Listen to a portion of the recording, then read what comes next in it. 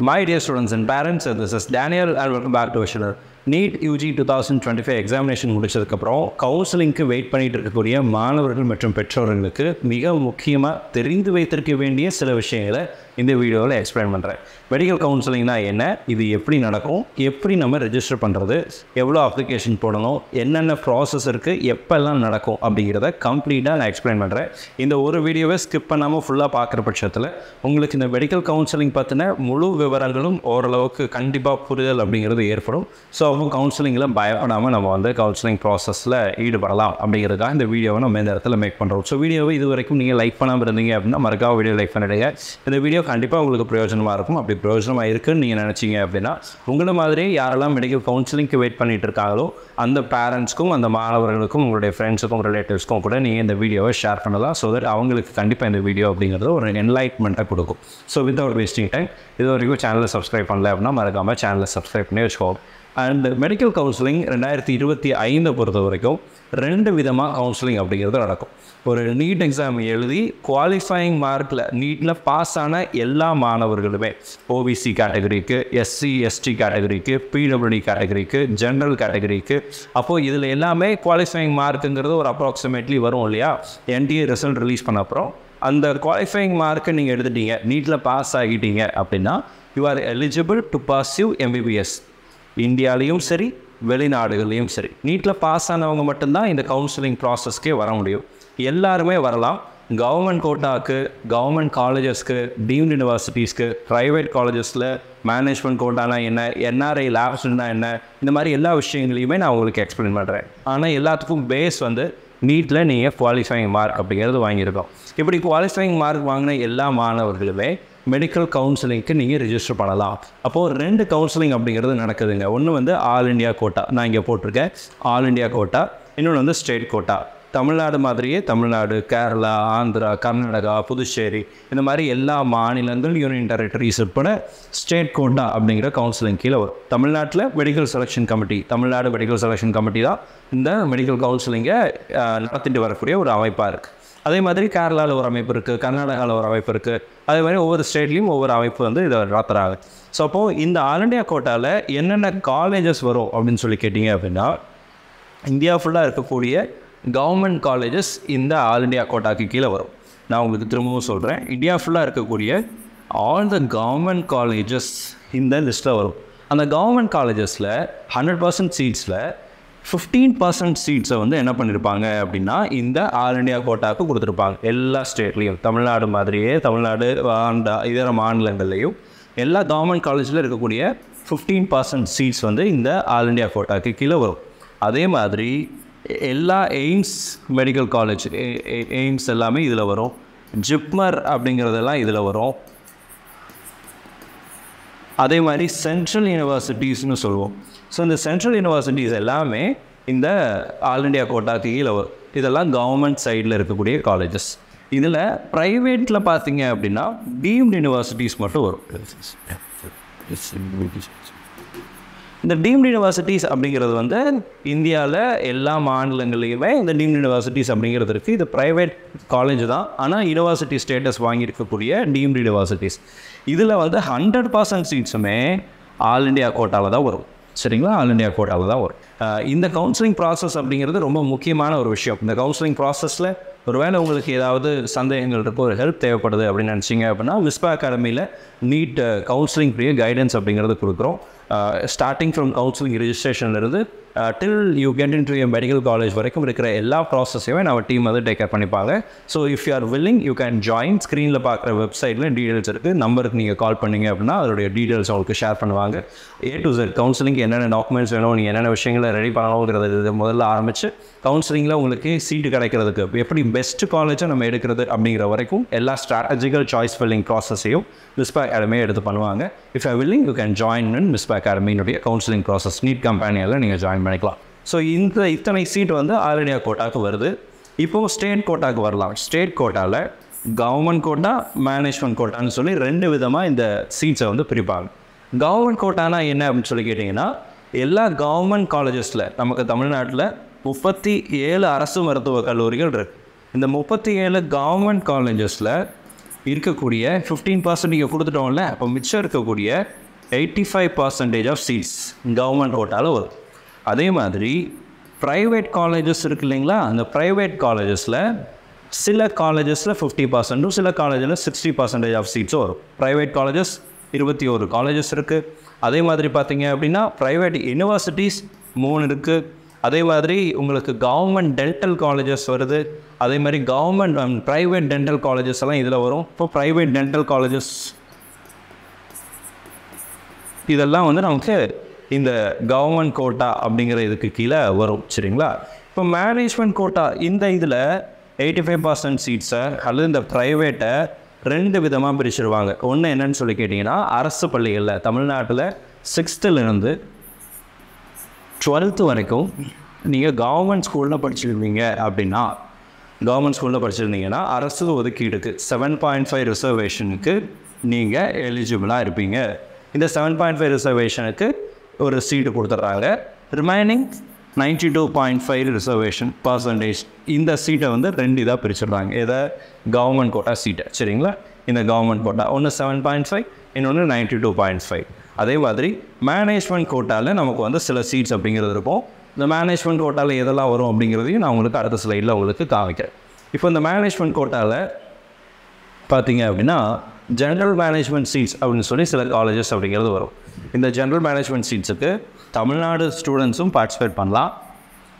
Other state ஸ்டூடெண்ட்ஸும் என்ன பண்ணலாம் அப்படின்னா பார்ட்டிசிபேட் பண்ணலாம் ஜென்ரல் மேனேஜ்மெண்ட்டுக்கு அதே மாதிரி minority category seats Christian minority Malayala minority Telugu minority இருக்குது என்ஆர்ஐ கோட்டா இருக்குது என்ஆர்ஐ லாஸ்ட் சீட் இருக்குது நான் உங்களுக்கு முன்னமே சொன்னபடி இதில் வந்து other state students plus Tamil Nadu students participate பண்ணலாம்.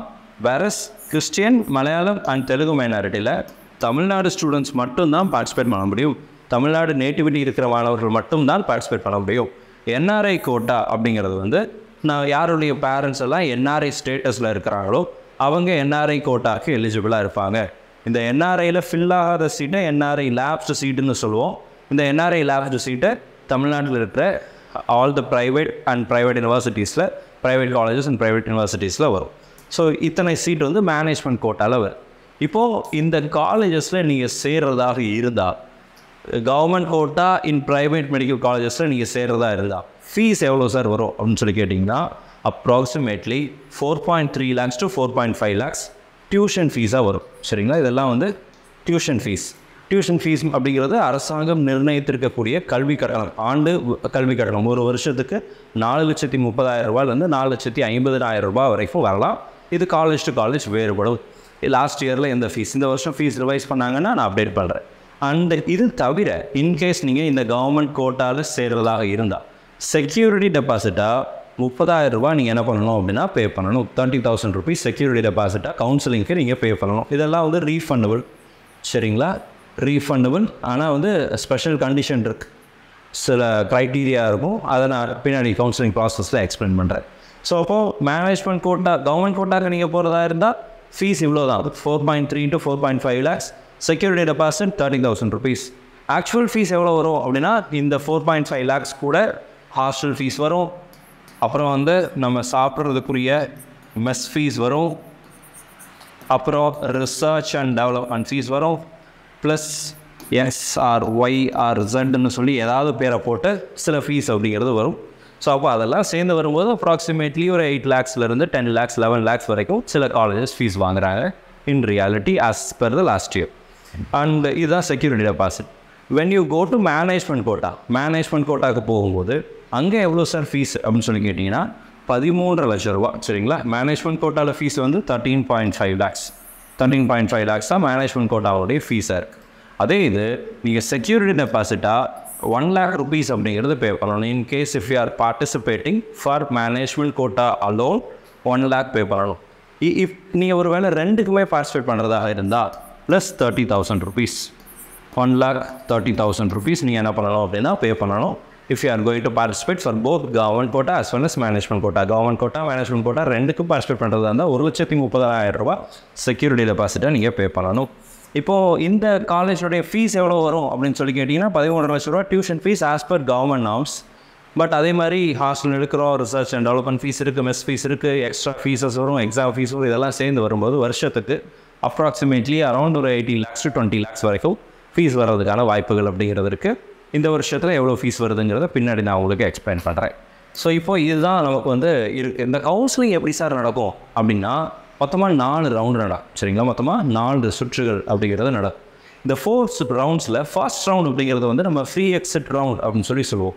அதாவது ஒரு காலேஜ் உங்களுக்கு கிடைக்குது. அந்த காலேஜ் பிடிச்சிச்சுன்னா நீங்கள் அங்கே சேரலாம். பிடிக்கலைன்னா வேண்டான்னு சொல்லலாம். இது free exit second round re allotment round re அலாட்மெண்ட்னா first கா ரவுண்டில் ஏதோ ஒரு காலேஜ் கிடச்சிருச்சு. எக்ஸ் ஆர் ஒய் மேபி உங்களுக்கு வந்து Nilgiris government medical college கிடச்சிருக்கு அப்படின்னு வச்சுக்கோங்களேன் ஃபர்ஸ்ட் ரவுண்டில் நீங்கள் வந்து if you are planning to move to some other districts வேறு ஏதாவது டிஸ்ட்ரிக்ஸில் இப்போ ஒரு காலேஜுக்கு போகணும்னு ஆசைப்பட்றீங்க அப்படின்னா செகண்ட் ரவுண்டில் நீங்கள் அந்த காலேஜை கொடுக்கலாம். அதே மாதிரி நீங்கள் ஃபர்ஸ்ட் ரவுண்டில் government quota seat in private college கிடச்சிருக்கு. சே ஃபார் எக்ஸாம்பிள் உங்களுக்கு வந்து கோயம்புத்தூரில் கற்பகம் மெடிக்கல் காலேஜ் கிடச்சிருக்கு அப்படின்னா மேபி கோயம்புத்தூர்லேயே எனக்கு வந்து பிஎஸ்ஜி கேஎம்சிஹெச் கிடச்சா நல்லாயிருக்கும் அப்படின்னு ஆசைப்பட்டால் செகண்ட் ரவுண்டில் நீங்கள் கோயம்புத்தூரில் PSG KMCH and all the government colleges if you are willing நீங்கள் கொடுக்கலாம். இது ரீஅலாட்மெண்ட்னு சொல்லுவோம். இப்போ மேனேஜ்மெண்ட் கோட்டாவில் எனக்கு சீட் கிடச்சிருக்கு சார் ஃபஸ்ட் ரவுண்டில் செகண்ட் ரவுண்டில் நான் வந்து கவர்மெண்ட் கோட்டாக்கு ட்ரை பண்ண முடியுமா அப்படின்னா தாராளமாக ட்ரை பண்ணலாம். ரீஅலாட்மெண்ட் ரவுண்டு நீங்கள் பார்ட்டிசிபேட் பண்ணலாம். இந்த ஃபர்ஸ்ட் ரெண்டு ரவுண்டுங்கிறது ரொம்ப ரொம்ப முக்கியமான ரவுண்ட் அதில் நீங்கள் ரொம்ப கிளவராக டிசிஷன் எடுக்க வேண்டியது ஃபர்ஸ்ட் ரவுண்ட் தான். சரிங்களா? ஃபர்ஸ்ட் ரவுண்டில் சீட் கிடச்சா அதில் சேர்றது தான் நல்லது. அப்புறம் தேர்ட் ரவுண்டுங்கிறது மாஹோப் ரவுண்டுன்னு சொல்லுவோம். இந்த மாஹோப் ரவுண்டுக்கு யாருக்கு யார் எலிஜிபிள்னு சொல்லி கேட்டிங்கன்னா ஃபர்ஸ்ட் ரவுண்ட் செகண்ட் ரவுண்டில் சீட்டு கிடைக்காம வெயிட் பண்ணுவாங்க இல்லையா? அவங்க மட்டும்தான் தேர்ட் ரவுண்டில் போவாங்க. இது ஆல் இண்டியா கோட்டாக்கு தமிழ்நாடு கோட்டாக்கு இப்படி தான் வரும். ஆல் இண்டியா கோட்டாக்கு எப்படி பண்ணுறாங்கங்கிறத நம்ம வெயிட் பண்ணி பார்க்குறோம். தேர்ட் ரவுண்ட் வந்து மாஹோப் ரவுண்ட் பொதுவாக இதுதான். ஆல் இண்டியா கோட்டாலையும் சரி தமிழ்நாடுலையும் சரி. சீட்டு கிடைக்காதவங்க அதில் சேருவாங்க அப்படிங்கிறது வரும். ஃபோர்த் ரவுண்டுங்கிறது ஸ்ட்ரே ரவுண்ட் ஸ்ட்ரே ரவுண்டுங்கிறது தான் கடைசி ரவுண்டாக இருக்கும்.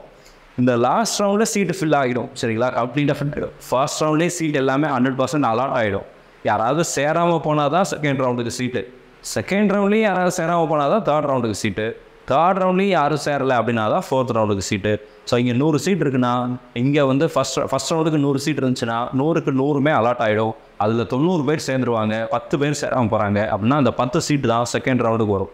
அந்த பத்து சீட்டில் ஏழு பேர் ஃபஸ்ட் செகண்ட் ரவுண்டில் சேர்ந்துட்டாங்க மிச்சம் மூணு பேர் சேரலை அப்படின்னா மூணு சீட்டு தான் தேர்ட் ரவுண்டுக்கு வரும். தேர்ட் ரவுண்டில் மூணு பேர் சேர்ந்துட்டாங்கன்னா ஃபோர்த் ரவுண்ட் நடக்க வேண்டிய அவசியம் அப்படிங்கிறது இருக்காது. ஒருவேளை அந்த மூணு சீட்டில் யாராவது ஒருத்தர் சேராக போனாங்கன்னா அந்த சீட்டு வந்து ஃபோர்த் ரவுண்டுக்கு வரும். அந்த ஃபோர்த் ரவுண்டில் சீட்டு அலாட் ஆகிடும் சேர்ந்துருவாங்க. ஒருவேளை ஃபோர்த் ரவுண்ட்லேயும் சேரலைன்னா இந்த ஸ்ட்ரே ரவுண்டை எக்ஸ்ட்ரா ரவுண்ட்ஸில் நடத்துவாங்க. இப்படி தான் லாஸ்ட் இயரில் ரெண்டு ரவுண்ட் நடத்துனாங்க. சீட் ஃபில் ஆகலை. எங்கே ஃபில் ஆகலைன்னா எம்பிபிஎஸில் இல்லை. பிடிஎஸில் பிடிஎஸ் மேனேஜ்மெண்ட் கோட்டாவில் சீட்டு ஃபில் ஆகாமல் இருந்துச்சு. ஸோ அதனால் அதுக்கு வந்து என்ன பண்ணாங்க அப்படின்னா ரவுண்ட்ஸ் அப்படிங்கிறத நடத்துனாங்க. எங்கேயோ ஏதாவது ஒரு இயற்கைக்கு அப்பாற்பட்ட செயலில் தேர்ட் ரவுண்டில் அல்லது ஃபோர்த் ரவுண்டில் சில கவர்மெண்ட் காலேஜஸில் சீட்டு வரலாம். அது வந்து அன்எக்ஸ்பெக்டட் விஷயமா இருக்கும். சேர்ந்த மாணவரால் கண்டிப்பாக பண்ண முடியாத சூழ்நிலை ஏற்பட்டிருக்கலாம். அந்த மாதிரி ஏதாவது நினச்சி பார்க்க முடியாத ஒரு மிராக்கள் நடந்துச்சு அப்படின்னா தேர்ட் ரவுண்டில் கவர்மெண்ட் காலேஜ் சீட் வரும். ஃபோர்த் ரவுண்டில் கவர்மெண்ட் காலேஜ் சீட் வரலாம். பட் இன் ரியாலிட்டி ஃபஸ்ட் ரவுண்ட்லேயே கவர்மெண்ட் காலேஜில் சீட்டு ஃபில் ஆகிடும் செகண்ட் ரவுண்டில் மிச்சம் சுச்ச சீட்டும் கம்ப்ளீட்டாக ஃபில் ஆகிடும் தேர்ட் ரவுண்டில் க ப்ரைவேட் காலேஜில் ப்ரைவேட் யூனிவர்சிட்டியில் management quota as well as dental காலேஜஸில் சில டென்டல் காலேஜஸில் கவர்மெண்ட் கோட்டாவோ அல்லது மேனேஜ்மெண்ட் கோட்டாவோ சீட் அப்படிங்கிறது இருக்கும். ஸோ இப்படி தான் ஃபோர் ரவுண்ட்ஸ் அப்படிங்கிறது நடக்கும். அடுத்ததாக இந்த ப்ராசஸை பொறுத்த வரைக்கும் கவுன்சிலிங்கில் all India quota NEET results வந்துருச்சு இல்லைங்களா? இப்போது இந்த கவுன்சிலிங்கில் நீட் ரிசல்ட்ஸ் வந்ததுக்கு அப்புறம் நீங்கள் என்ன செய்யணும் அப்படின்னா கவுன்சிலிங்குரிய நோட்டிஃபிகேஷன் அப்படிங்கிறது வரும். அதுக்காக வெயிட் பண்ணுங்க. இந்த நோட்டிஃபிகேஷன் வந்தவுடனே ஆல் இண்டியா கோட்டாக்கு நீங்கள் ரிஜிஸ்ட்ரேஷன் அப்படிங்கிறத பண்ண ஆரம்பிச்சிடலாம். இது ஆல் இண்டியா கோட்டாக்கு சிமிலர்லி நீட் ரிசல்ட்ஸ் வந்த உடனேயே தமிழ்நாடனுடைய ரிஜிஸ்ட்ரேஷனுக்கு ஒரு நோட்டிஃபிகேஷன் கொடுப்பாங்க. அங்கே நம்ம தமிழ்நாடுக்கு ரிஜிஸ்ட்ரேஷன் பண்ணணும். அந்த ரிஜிஸ்ட்ரேஷன் பண்ணதுக்கப்புறம் கொஞ்சம் அது ரிஜிஸ்ட்ரேஷன் முடிஞ்சதுக்கப்புறம் தமிழ்நாடில் ரேங்க் லிஸ்ட் அப்படிங்கிறது ரிலீஸ் பண்ணுவாங்க. இந்த ரேங்க் லிஸ்ட் ரிலீஸ் பண்ணதுக்கப்புறம் நமக்கு கவுன்சிலிங் அப்படிங்கிறது அஃபீஷியலாக ஸ்டார்ட் ஆகும். All India quota first round Tamil Nadu first round ரெண்டும் சைமல்டேனியஸாக ஒரே நேரத்தில் நடந்துட்டு போகும். உதாரணத்துக்கு சொல்கிறேன் ஜூலை செகண்ட் வீக்கில் அல்லது ஜூலை ஃபர்ஸ்ட் வீக்கில் நமக்கு வந்து கவுன்சிலிங் ஆரம்பிக்குது அப்படின்னா ஃபர்ஸ்ட் வீக்கில் சரிங்களா? செகண்ட் வீக் ஆஃப் ஜூலையில் ஆல் இண்டியா கோட்டை ஆரம்பிச்சிச்சுன்னா ஆல் இண்டியா கோட்டை ஆரம்பித்து ஒரு நாலஞ்சு நாள் கழித்து தமிழ்நாடு ஆரம்பிச்சிருவாங்க. அப்போது அந்த ஒவ்வொரு ரவுண்டும் கிட்டத்தட்ட ஒரு பதினஞ்சு நாள் கேப்பில் நடக்கும். பத்துலேருந்து பதினஞ்சு நாள் கேப்பில் நடக்கும். அப்போ ஆரம்பித்து ஒரு ரெண்டாவது நாள் அல்லது மூணாவது நாள் அல்லது நாலாவது நாள் தமிழ்நாடு ஆரம்பிச்சிருவாங்க. தமிழ்நாடு மாதிரியே எல்லா ஸ்டேட்டுமே ஆரம்பிச்சிருவாங்க. அப்போது ஆல் இண்டியா கோட்டா ஒரு இடத்துல ஆரம்பிக்கும். First all India quota. அப்போது இந்த டைம் போயிட்டே இருக்கும்போது இங்கேருந்து தமிழ்நாடு ஆரம்பிச்சிடும் அப்போ இதோட ரிப்போர்ட்டிங் இதோட ரிப்போர்ட்டிங் இந்த இடத்துல என்ன ஆகிடும் அப்படின்னா முடிஞ்சிடும் சரிங்களா? ஸோ அப்போது ஆல் இண்டியா கோட்டாவுடைய ரிசல்ட்டையும் தமிழ்நாடு ரிசல்ட்லேயும் நீங்கள் வந்து என்ன பண்ணலாம் அப்படின்னா சீட் எடுக்கலாம். ரெண்டு இடத்துலையுமே பாஸ்போர்ட் பண்ணி சீட் எடுக்கலாம். If you have the mark நல்ல மார்க் இருக்குது அப்படின்னா நீங்கள் தாராளமாக ரெண்டு கவுன்சிலிங்லையும் பார்ட்டிசிபேட் பண்ணலாம். ஸோ இப்போ இந்த ஃபர்ஸ்ட் ரவுண்ட் முடிஞ்சதுக்கப்புறம் ரிசல்ட் ரெண்டாவது ரவுண்ட் மூன்றாவது round all India quota second round Tamil Nadu second round all India third round Tamil Nadu third round all இண்டியாவோட stray round தமிழ்நாடோடைய ஸ்ட்ரே ரவுண்ட்னு சொல்லி சீக்வன்ஷியலாக சைமல்டேனியஸாக போயிட்டே இருக்கும். ஸோ இதுதான் இந்த கவுன்சிலிங் ப்ராசஸ் இதில் உங்களுக்கு ஏதாவது சந்தேகங்கள் இருந்துச்சு அப்படின்னா கீழே கமெண்ட் செக்ஷனை டைப் பண்ணுங்கள் ஸோ தட் அடுத்தடுத்த வீடியோவில் அதற்குரிய பதில்களை நான் உங்களுக்கு எக்ஸ்பிளைன் பண்ணுறேன் இந்த கவுன்சிலிங் ப்ராசஸ் அப்படிங்கிறது ரொம்ப முக்கியமான ஒரு விஷயம். இந்த கவுன்சிலிங் ப்ராசஸில் ஒருவேளை உங்களுக்கு ஏதாவது சந்தேகங்கள் இருக்கோ ஒரு ஹெல்ப் தேவைப்படுது அப்படின்னு நினச்சிங்க அப்படின்னா விஸ்பா அகாடமியில் நீட் கவுன்சிலிங் ஃப்ரீ கைடன்ஸ் அப்படிங்கிறது கொடுக்குறோம். Starting from counselling ரிஜிஸ்ட்ரேஷன்லேருந்து till you get into medical college வரைக்கும் இருக்கிற எல்லா ப்ராசஸையுமே நம்ம டீம் வந்து டேக் கேர் பண்ணிப்பாங்க. So if you are willing you can join ஸ்க்ரீனில் பார்க்குற வெப்சைட்டில் டீடெயில்ஸ் இருக்குது நம்பருக்கு நீங்கள் கால் பண்ணீங்க அப்படின்னா அதோடைய டீடெயில்ஸ் அவங்களுக்கு ஷேர் பண்ணுவாங்க.